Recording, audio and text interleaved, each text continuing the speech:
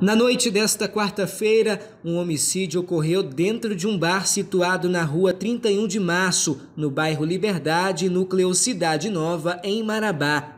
A vítima, de acordo com a Polícia Militar, é Eduardo dos Santos Silva, que foi executado a tiros no local. Ninguém ainda foi preso pelo crime. Logo após o homicídio, uma guarnição do 34º Batalhão de Polícia Militar foi deslocada ao local para atender a ocorrência.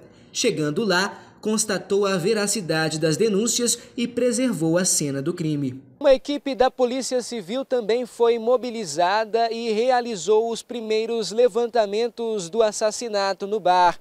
O Instituto Médico Legal fez a remoção do corpo da vítima por volta das 11h30 da noite. Eduardo, segundo informações, teria várias passagens pela polícia por furtos e assaltos no núcleo Cidade Nova, principalmente na região em que foi assassinado. Essa informação, porém, ainda não foi confirmada pela polícia.